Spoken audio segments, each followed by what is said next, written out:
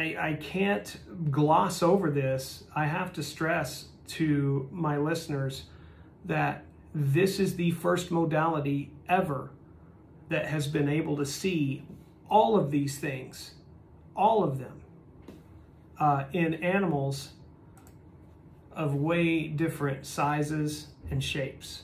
Only Vimago can cover this spectrum in patient size and species and in all these disciplines of internal medicine, orthopedics, and dentistry.